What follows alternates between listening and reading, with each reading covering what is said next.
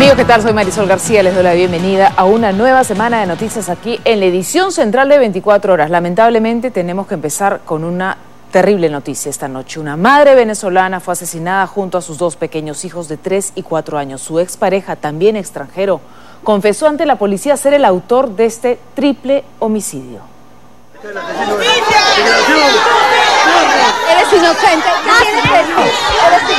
Jimmy Manfredi García Castillo confesó ante la policía haber asesinado a su expareja Helen Hernández Zabaleta, la joven ciudadana venezolana que fue hallada en su cama con profundos cortes en el pecho, cuello y abdomen, al igual que sus dos hijos de 3 y 4 años el pasado domingo.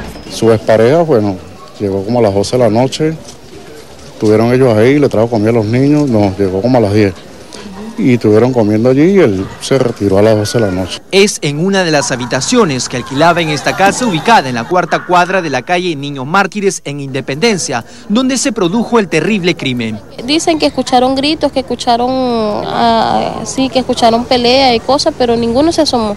Que ya que pedía auxilio, pero no se asomaron. Este sujeto hasta el último momento intentó despistar a los familiares de la víctima y a los agentes de la División de Homicidios de la DRINCRI. Sin embargo, sus mentiras no le duraron mucho tiempo. El, primero llegó desesperado. Él me llamó a mí en la mañana. Me dice, Ana, ¿y qué pasó que él no ha llegado? Porque él estaba esperando para la chocolatada de su trabajo. Y nada, lo llamaba él, la llamaba yo y nada que, nada que contestaba. Entonces cuando, cuando le avisamos, ese hombre llegó vuelto loco para arriba que no sabía, no sabía nada. Tras un intenso interrogatorio en la sede policial, el ciudadano venezolano Jimmy Manfredi García Castillo confesó su crimen, y es que según la familia de la víctima, tenían una relación caótica y hace un mes y medio ya habían dejado de vivir juntos.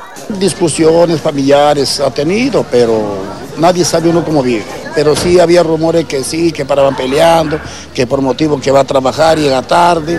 Fue la madre de la víctima quien halló el cuerpo de Helen y los de sus pequeños hijos cuando fue a visitarlos al cuarto que alquilaban en el distrito de Independencia. Mi hermana venía la llamada todos los días para que bajara a su casa a comer.